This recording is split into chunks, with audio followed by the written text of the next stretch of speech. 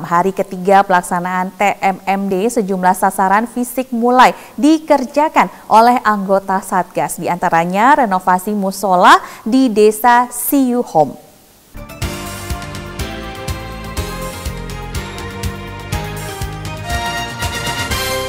Hari ketiga setelah dilaksanakan upacara pembukaan TNI Manunggal membangun desa reguler 111 tahun anggaran 2021, anggota Satgas TMMD dari Yonif 125 Simbisa langsung bekerja.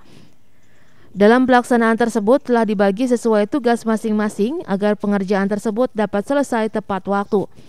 Seperti saat ini, selain mengerjakan pembukaan jalan baru sepanjang 6.400 meter dengan lebar 8 meter, sebagian anggota Satgas lain membantu merenovasi musola di Desa Siohom bersama warga. Saya selaku tokoh agama mewakili dari Desa Siohom mengucapkan terima kasih kepada Satgas TNMD yang pusara 11 Kodim 0212 Tapanuli Selatan. Karena karena adanya TMMD ini kami terbantu dan bisa memperbaiki musola. Sikap kompak dan kegotong royongan inilah yang dapat menjaga nilai-nilai Pancasila dan mempertahankan adat ketimuran.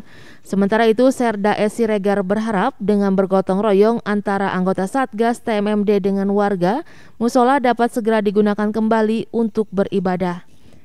Tim Liputan, Bandung TV